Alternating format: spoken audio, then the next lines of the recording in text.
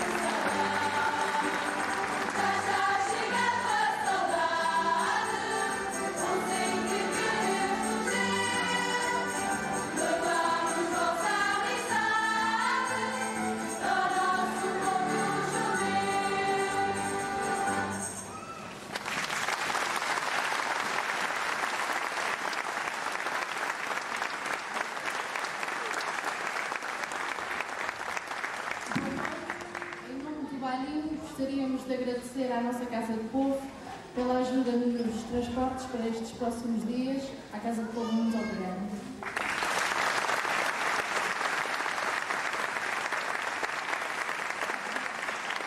Nós também queremos agradecer à Associação Cultural por ter cedido o espaço para os nossos ensaios na Sala de Palmas.